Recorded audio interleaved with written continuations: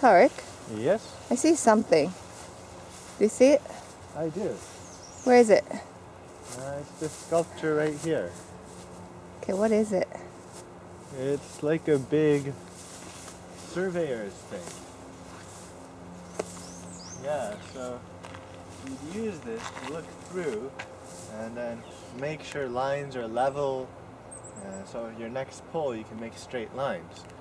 Okay, Carve out maps and things. I see. Do you Yeah. like it? See, it says here on the bottom, Sir Sandford Fleming.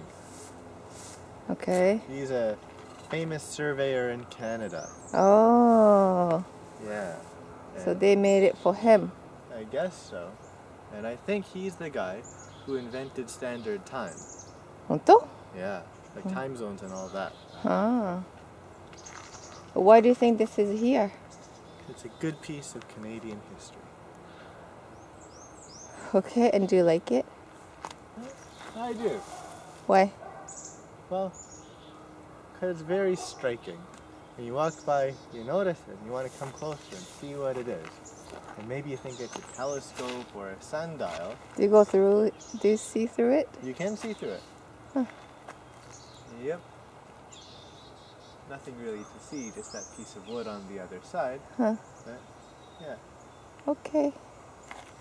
I approve. You approve? Yeah. All right. Shall we go to the next one?